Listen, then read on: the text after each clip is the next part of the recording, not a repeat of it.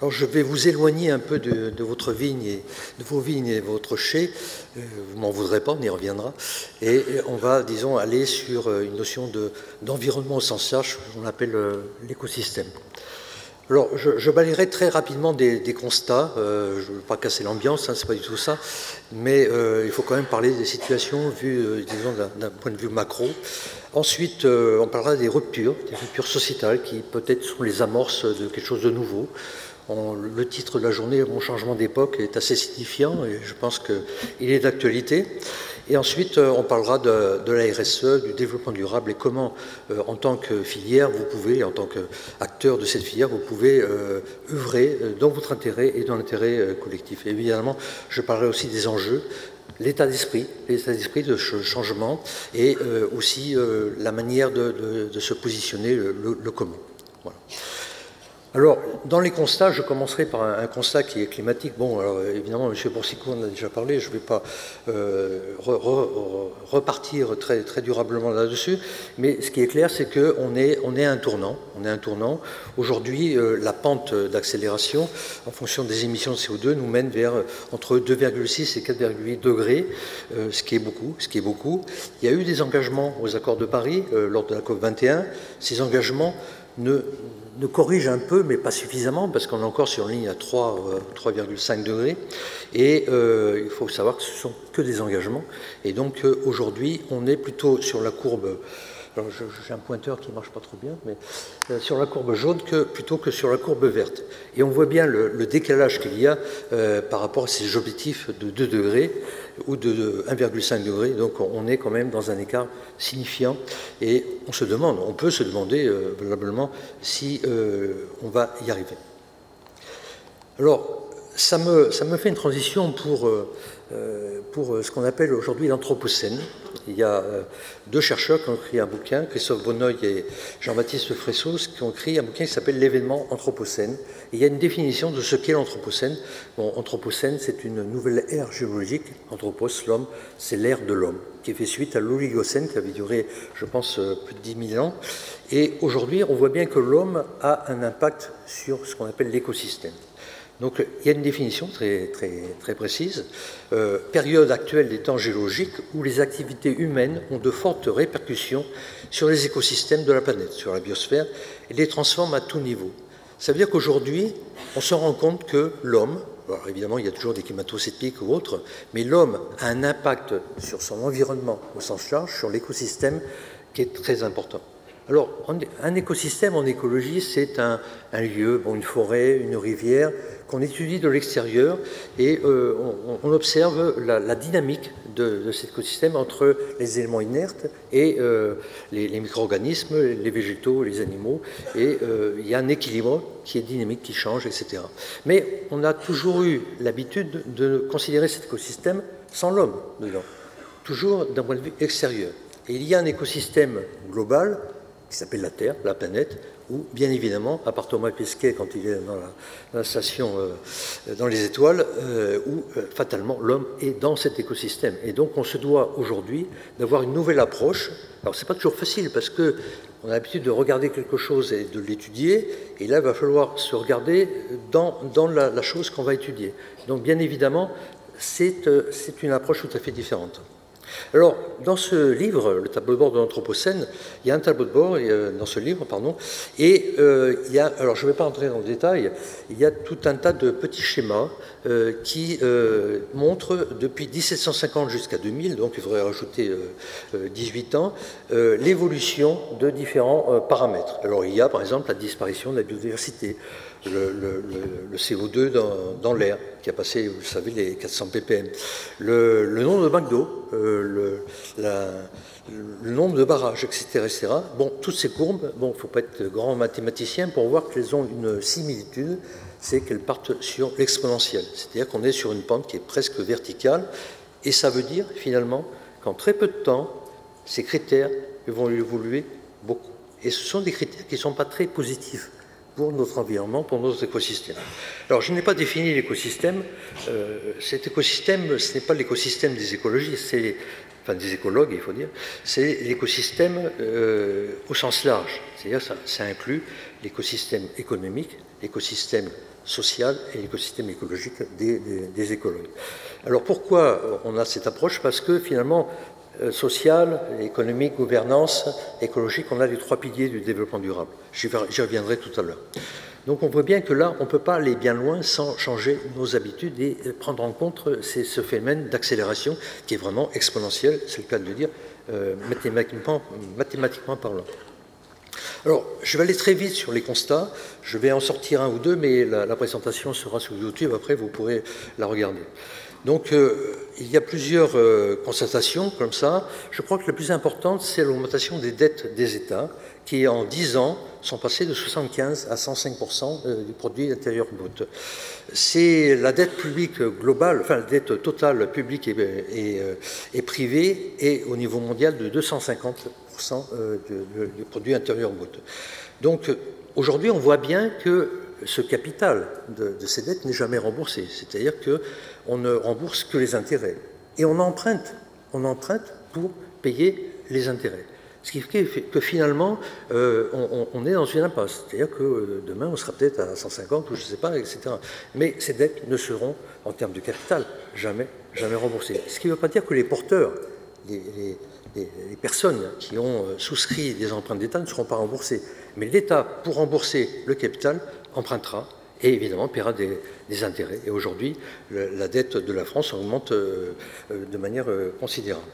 Alors, on parle du redémarrage de l'économie, c'est vrai, mais cela est très fragile. Pourquoi? Parce qu'il y a de nouvelles bulles qui se forment et on voit bien qu'aux États-Unis, par exemple, on assiste avec M. Trump à une dérégulation tout à fait globale. Il y a une instabilité des politiques euh, euh, économiques. Monsieur Draghi, euh, vous le verrez, avait des petites phrases interrogatives et on a eu, suite à la crise de 2008, une politique qui était une politique de taux bas et de rachat des, emprunts des, banques pour relancer l'économie. Ce qui veut dire que si aujourd'hui on avait une autre crise économique, ce qui n'est pas du tout impossible, M. Piketty ou Stiglitz le disent, on n'a plus de filet. On n'a plus de filet, c'est-à-dire qu'on peut pas. Il y, a, des taux qui étaient à, 0 ou à 0,65, on ne peut pas aller sur des taux négatifs. Donc, danger, danger. Alors, au niveau social, là aussi, je très rapidement, il y a 8 personnes dans le monde qui cumulent la moitié du revenu de l'humanité, de toutes les personnes. Aux États-Unis, 0,1% des plus riches euh, ont un revenu équivalent à 50% de la population des Amériques, enfin des US. Donc on voit bien qu'il y a un écart de plus en plus important entre les plus riches et les plus pauvres. 2 milliards de personnes n'ont pas accès à l'eau potable. On parlait d'eau tout à l'heure, mais euh, ce n'est pas pour arroser les plantes, c'est pour s'hydrater et euh, se laver et avoir euh, une vie un peu plus saine. 800 millions de personnes sont dénutries. Alors l'OMS dit, bon, c'est un gros progrès parce qu'on était à 1 milliard, on est tombé à 800 millions. 800 millions, c'est encore un peu élevé à notre avis.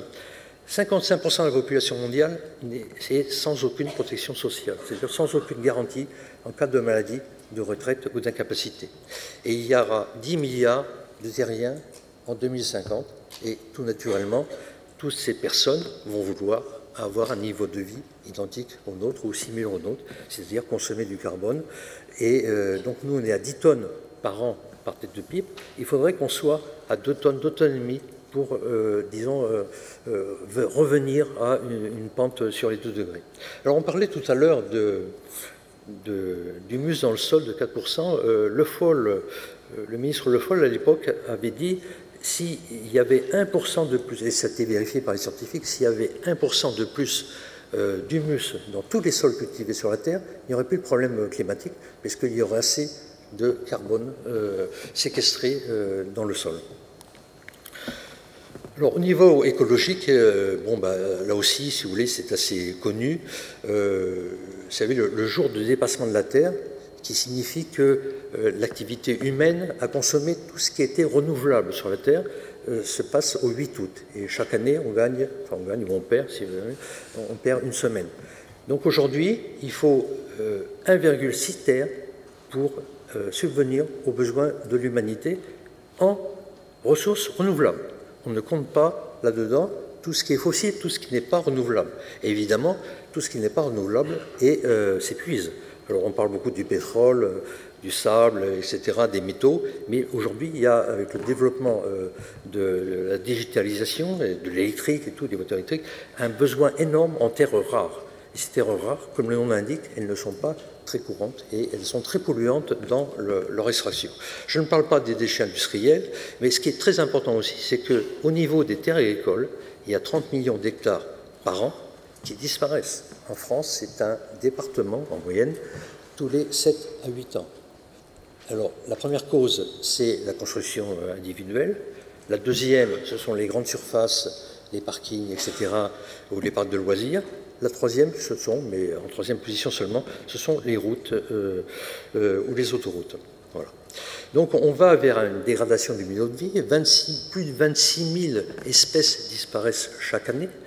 Il y en a beaucoup qu'on ne connaît pas encore d'ailleurs. Hein. Voilà. Et euh, vous l'avez vu dans les journaux, il y a depuis 1970, euh, il y a, en 30 ans, pardon, il y a 70% des insectes qui ont disparu. Parmi ces insectes, il y a évidemment des pollinisateurs, des abeilles, des abeilles sauvages, et c'est un gros problème évidemment en termes de fécondation. Il faut savoir qu'en Chine, il y a des régions, des petites régions, où il n'y a plus un seul insecte. On paye des dames pour grimper dans les arbres, pour mettre euh, du pollen sur les fleurs de pommier. Il y a des photos, etc. Ça existe. Aujourd'hui, on dit on va avoir des petits drones qui vont remplacer les abeilles. c'est peut-être une solution, mais peut-être vaut-il mieux conserver les abeilles. Et en plus, Einstein avait dit euh, quand les abeilles disparaîtront l'homme ne sera pas très loin derrière. Tout ça nous mène à l'alarme des 15 300 scientifiques dont vous avez certainement entendu parler, cette larme sur l'état de la planète. C'est la deuxième fois que des scientifiques se liguent, euh, se, groupent pour alerter euh, tous les décideurs. La première fois, c'était euh, à Rio, au sommet de la Terre, donc il y a un petit moment, en 1992, et ils ont constaté que depuis 1992, finalement, la, situation n'a pas tellement changé, et c'est ça qui est inquiétant. Alors, bah, le, constat euh, général, c'est que finalement, la nature, jusqu'ici, notamment depuis l'ère industrielle, a toujours été considérée comme une ressource inépuisable et gratuite de matières premières. Et les notions de renouvellement, de régénération, on le voit avec le, jour de dépassement, n'ont pas tellement été prises en compte jusqu'à présent. Et donc les hommes, par leur activité depuis l'ère industrielle, ont accumulé une dette, une dette sociale certainement, parce qu'il y a beaucoup de dégradation sociale, mais surtout une dette écologique. Et cette dette écologique est-elle illimitée, comme pour les dettes souveraines des États? Est-elle gratuite? Est-elle sans conséquence Peut-on avoir un développement infini dans un monde fini, au point de vue de nos matières premières et, de nos besoins? Question. Et cela nous mène à une notion euh, qui s'appelle le bien commun. Alors, on a la chance d'avoir un prix Nobel d'économie qui s'appelle Jean Tirole, euh, qui a eu ce prix Nobel en 2014 et qui a écrit un livre qui s'appelle L'économie du bien commun, qui fait 600 pages. Et ce, titre m'a un peu choqué, parce que, enfin, m'a interpellé, disons, pas choqué, euh, parce que moi, bon, avec tout ce que je vous ai dit avant sur les constats, euh, j'avais quand même dans la tête que l'économie, bon, finalement, ça faisait pas tellement bon ménage avec euh, l'environnement, la nature, et, ce qu'on appelle finalement le bien commun. Et là, on sent, on sent, disons, intuitivement ce qu'est le bien commun. Le bien commun, c'est ce qui appartient à tout le monde et à personne en particulier c'est que c'est l'air, l'eau, mais ça peut être aussi des notions comme la paix. La paix est un bien commun. Le bien-être des citoyens, la santé est un bien commun. Donc euh, Jean Tirole, dans son livre, nous dit l'économie est au service du bien commun. Extraordinaire, extraordinaire. Ça, me paraît, euh, voilà, pour moi, c'était une révélation. Donc on voit bien, et il dit aussi euh, sa, technique, hein, L'économie analyse la situation où l'intérêt individuel est compatible avec cette quête de bien-être collectif. On va le revoir d'ailleurs avec le Stiglitz, autre prix Nobel tout à l'heure. Donc la croissance économique et la gestion du bien commun ne sont pas forcément contradictoires. Ça veut dire qu'il faut aller dans cette direction. Donc, deuxième prix Nobel, Stiglitz, Stiglitz, euh, qui a eu le prix Nobel en 2001, lui a une autre approche. Il a une approche par le social. Il dit de toute façon, le succès d'un système financier se mesure en dernière analyse par le bien-être qu'il apporte aux simples citoyens. Et son message, c'est qu'il faut inverser la fin et les moyens. Est-ce que c'est l'homme qui est au service de l'économie ou est-ce que l'économie est au service de l'homme dans un environnement durable et renouvelable pour les générations futures? C'est très important. C'est vraiment un point, un, point qu'il faut garder en tête. Alors, aujourd'hui, on constate des choses qui sont quand même positives parce que, bon, euh, on change d'époque, comme le titre de la journée nous, le dit, il y a des amorces de changement qui se voient à différents niveaux. Il y a déjà des amorces qui sont liées à l'entrepreneuriat. 30% des étudiants en classe préparatoire veulent créer une entreprise. C'est assez récent. Avant, ils voulaient surtout aller dans les grandes entreprises ou intégrer les grands corps de l'État. Mais maintenant, il y a quand même plus d'un tiers disent, bon voilà, moi je veux agir, je veux faire quelque chose. Donc cet esprit entrepreneurial est tout à fait rassurant. 50% des emplois, actuels pourraient voir leur contenu changer du fait des nouvelles technologies. C'est vrai qu'aujourd'hui, c'est une question importante. Euh, il y a beaucoup de chômage, mais je connais aussi beaucoup d'entreprises qui voudraient recruter, qui ne trouvent pas euh, des, personnes qui ont les compétences requises. Ce qui veut dire que cette mutation entre des gens qui vont avoir des, métiers un peu obsolètes et euh, de nouvelles personnes qui vont avoir de nouvelles compétences ne se fait pas assez rapidement. La réputation, est de plus en plus géré par les entreprises. Et quand des investisseurs achètent une entreprise ou euh, prennent une participation au capital, ils regardent dans la valorisation de l'entreprise l'image qu'elle a, Et on peut dire aujourd'hui qu'une entreprise qui se soucie euh, de, de, son environnement, du sociétal, a une plus grande valeur. Aujourd'hui, en 2016, il y a eu 148 procès intentés par des ONG à des entreprises pour des questions de droits de l'homme. Et je peux vous dire qu'aujourd'hui, les grandes entreprises font extrêmement attention à ça.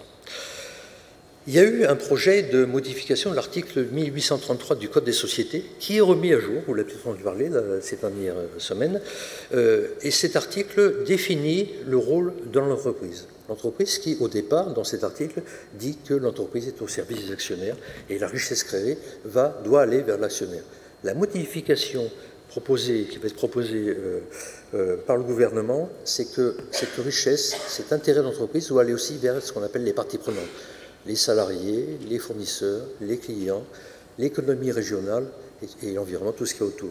Donc c'est déjà un élargissement très important de la notion de richesse et avec des destinataires qui sont autres que jusqu'à présent, hein, dans ce que j'appelle l'ancienne économie, les, euh, les actionnaires. Ce qui était optionnel hier devient de plus en plus courant. On le voit pour la qualité. Il y a quelques dizaines d'années, euh, la qualité, les distributeurs ne demandaient pas une certification ISO 9000 à leurs fournisseurs. Maintenant, c'est tout à fait normal. La sécurité, évidemment, tout au moins dans les pays développés, est tout à fait quelque chose de bien intégré. Il y a des bons rapports de développement durable qui, sont obligatoires pour les grosses entreprises. Et aujourd'hui, il se peut que demain, très rapidement, on demande des engagements sur euh, la 26 000, sur euh, la responsabilité sociétale, dont je vais vous parler après. Alors, les ruptures sociétales, c'est aussi très important au niveau humain. Le réchauffement climatique nous induira des réfugiés climatiques. Il y en a déjà aujourd'hui 23 millions. Il est prévu qu'en 2050, il y en ait 250 millions.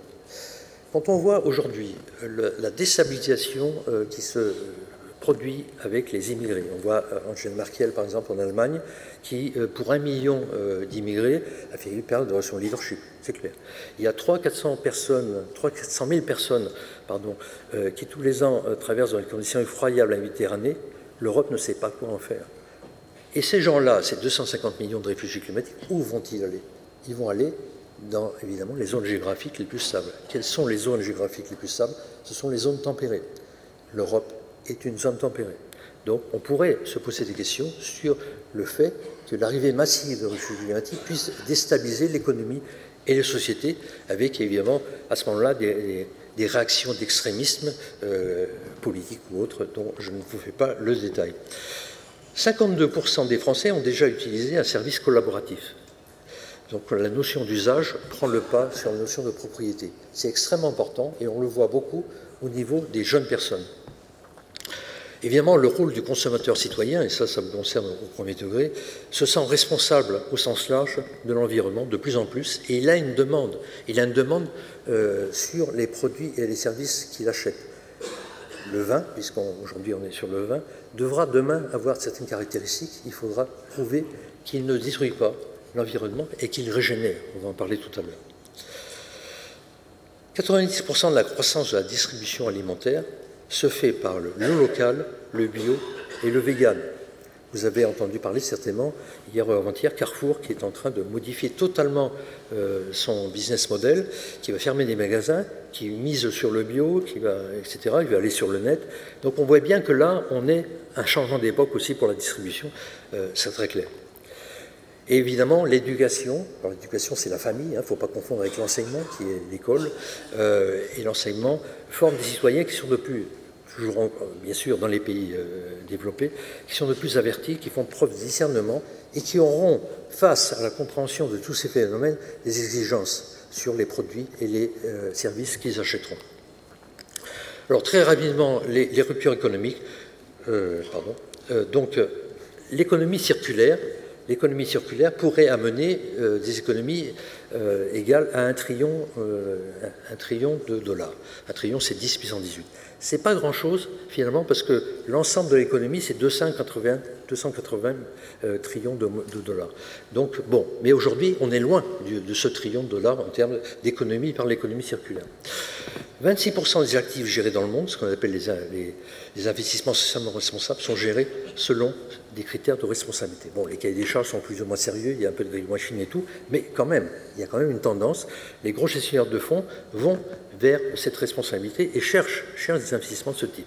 J'ai lu dans les échos hier que le plus gros fonds euh, américain, qui s'appelle BlackRock, 6 000 milliards euh, d'investissements, avait envoyé une lettre à tous les, dirigeants des sociétés dans lesquelles ils ont des participations pour leur dire attention, les dividendes, la rémunération nationale n'est plus la priorité, occupez-vous de l'environnement, des clients, des parties prenantes, etc., de, vos salariés, etc.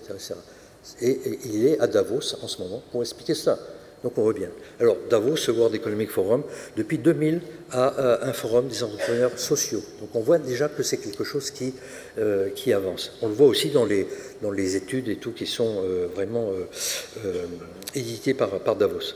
Et on voit aussi en termes d'investissement ce qu'on appelle le capitalisme patient, c'est-à-dire que les investisseurs voit qu'il faut peut-être rester un peu plus longtemps dans, les entreprises et peut-être aussi euh, euh, avoir d'autres, euh, disons, formes de richesse, comme par exemple une bonne image, que les dividendes purs et durs.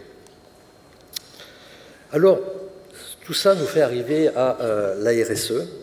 Alors, la RSE, Bien évidemment, euh, c'est un outil qui est en lien avec ce qu'on appelle la durabilité, c'est-à-dire la, protection de la planète au sens large. Et je vais commencer par définir ce qu'est le développement durable. Alors on a deux définitions. La première définition, c'est celle du rapport Brundtland en 87, et ça vous connaissez un petit peu cette définition, c'est un développement qui répond aux besoins du présent sans compromettre la capacité des générations futures à répondre aux leurs. Euh, on ne peut pas laisser une terre totalement dévastée aux générations futures.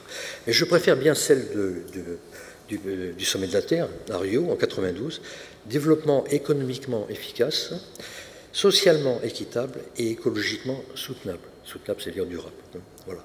Et là, on voit bien euh, ce qui pointe finalement les trois piliers du développement durable, c'est-à-dire l'économique avec la gouvernance, le, social avec l'équitable et évidemment le, durable avec euh, l'écologie et euh, toute la partie euh, planète et eau, biodiversité, etc.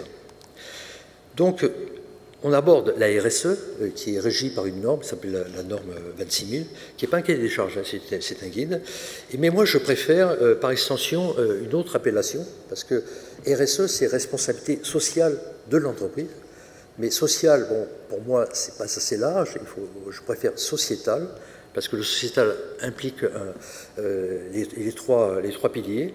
Et je préfère O pour organisation, parce que finalement, il n'y a pas que les entreprises euh, qui doivent avoir une responsabilité. Tout le monde, à ce jour, a une responsabilité. Un individu seul a une responsabilité. Une famille a une responsabilité. Une association, une commune, une collectivité locale. Tout le monde a une responsabilité. Et il est bien clair que ce, phénomène doit se, généraliser. Tout le monde doit prendre en charge la restauration de notre écosystème qui s'appelle la Terre.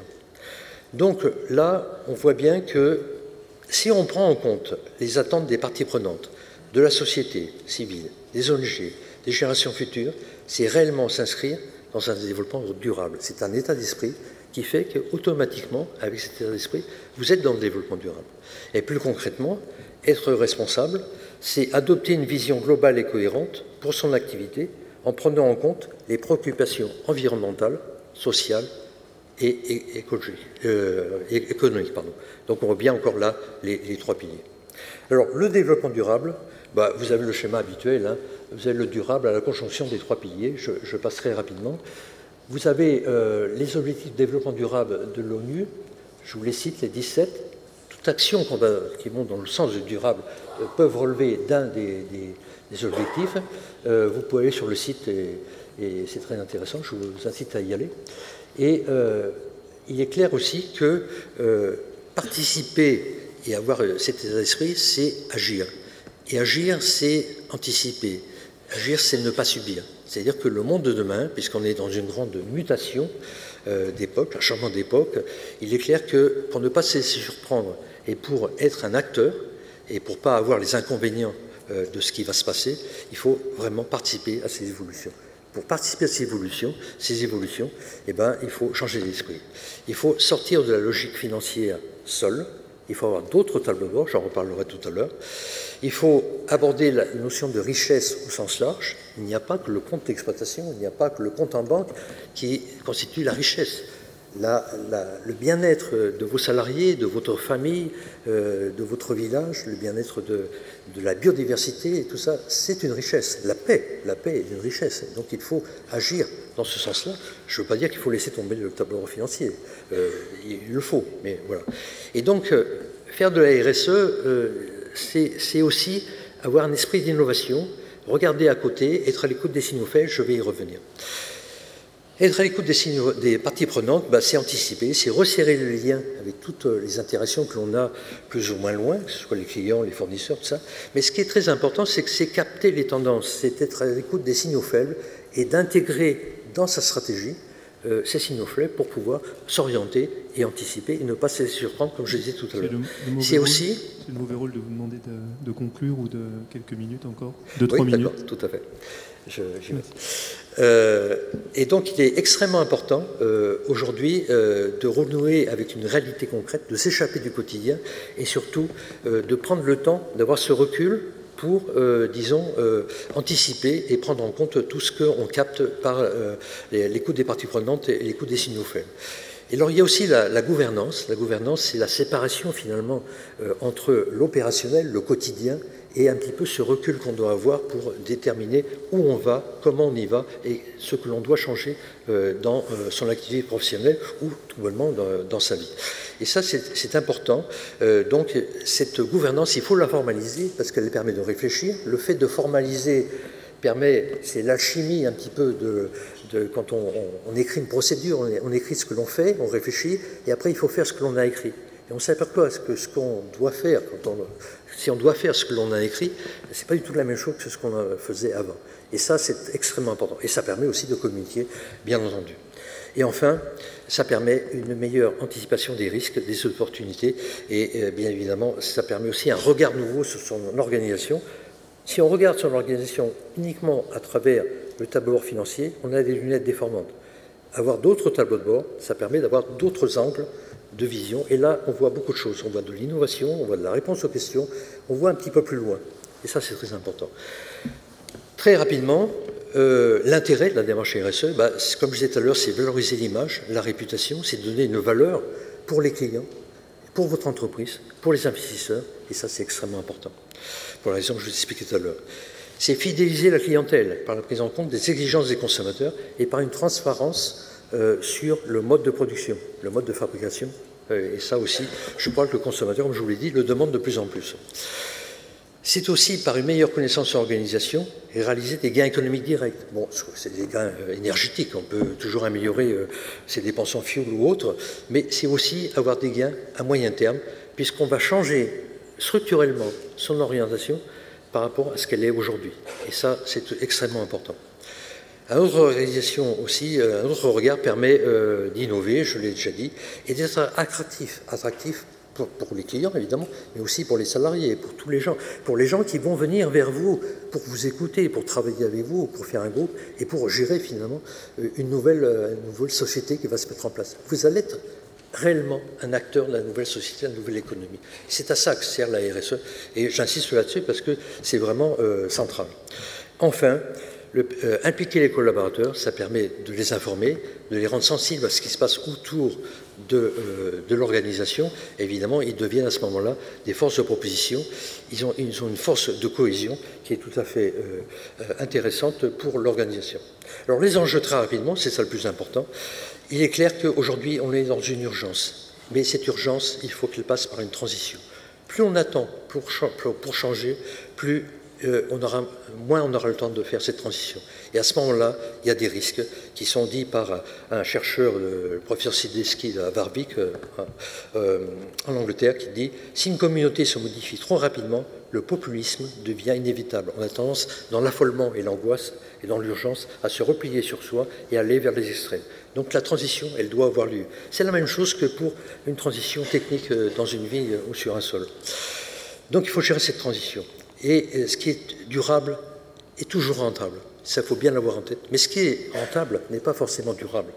Et je crois qu'aujourd'hui, vu l'urgence, vu la responsabilité qu'on doit avoir par rapport au changement du monde, tout ce qui n'est pas durable, même si c'est rentable, je crois qu'il faut arrêter de le faire. Parce que ça continuera à dégrader l'environnement, ça continuera à euh, générer euh, du CO2 et euh, à réchauffer la planète. Alors, il y a des points de non-retour, ça c'est extrêmement important. Il faudra s'adapter, on l'a vu avec euh, M. Boursicot et d'autres intervenants. Il faudra s'adapter, mais ce n'est pas suffisant. Vous pouvez vous adapter à 1 degré, 1 degré et demi, 2 degrés. Mais à 4 degrés, on ne peut pas s'adapter. 7 degrés, c'est un, un, schisme. On ne peut pas.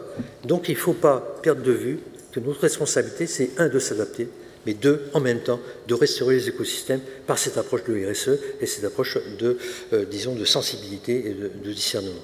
Alors, il faut surtout éviter le fatalisme, on verra bien, parce que ça, ça ne marchera pas, et aussi le scientisme. La science, le progrès, il va tout résoudre. Ça va trop vite, ça va trop vite, il faut s'en prendre en main, il ne faut pas attendre que ça vienne d'en haut, ce n'est pas possible. Et enfin, il faut trouver la sobriété écologique et économique. Il y a un mot pour ça, ce sera un peu la, fin, c'est l'économie, c'est la contraction de l'économie et de l'écologie. Voilà. Alors les conditions de l'action, il faut faire sa part. C'est-à-dire que vous devez vous poser la question de savoir si ce que vous faites est suffisant pour rester en dessous de 2 degrés, par exemple. Si vous avez, parce que tout le monde doit agir, la solution est collective. Elle, ne peut pas venir des politiques, elle ne peut pas venir des autres. Tout le monde doit agir, du plus petit acteur jusqu'à la plus grosse entreprise. Il n'y a aucun problème. Il faut y aller. Donc l'action doit être suffisante. Tous les projets doivent passer, je l'ai dit, au filtre de l'intérêt collectif, et du bien commun. Il faut, ça je passe, il faudrait comptabiliser évidemment tout le service que l'on rend au bien commun et l'intégrer dans les flux économiques. Ce n'est pas le cas aujourd'hui, mais il va y avoir un prix du carbone. Donc si vous augmentez l'humus de vos terres dans vos vignes, bah, peut-être qu'on vous le paiera, parce que vous allez contribuer au bien, au bien commun. Il ne faut pas faire de cosmétique. Réellement, le développement durable, c'est quelque chose, ça doit être un but, ça doit être un axe de développement de votre activité. Et donc, euh, il ne suffit pas d'être en conformité, il faut vraiment contribuer au, bien commun. C'est le message que euh, je, vous fais euh, aujourd'hui. Alors, tout ça va dire, mais oui, mais ça coûte, aujourd'hui on a des fins de mois, voilà, il faut construire des chais, etc. Ben, c'est un investissement. C'est un investissement pour l'avenir, c'est un investissement pour la planète, c'est un investissement pour vos enfants. Et il est clair qu'un investissement, là je redeviens bassement matériel, ça se calcule, ça se mesure, ça s'amortit et ça se pilote. Donc il faut avoir des objectifs, il faut avoir euh, un comité de pilotage, il faut le raisonner en termes, euh, disons, euh, tout à fait financiers. Conclusion, bah, la conclusion est simple. Hein. Est-ce que l'activité viticole dont vous faites partie participera à l'économie du bien commun? Voilà. Je vous demande de vous poser cette question. Je vous remercie.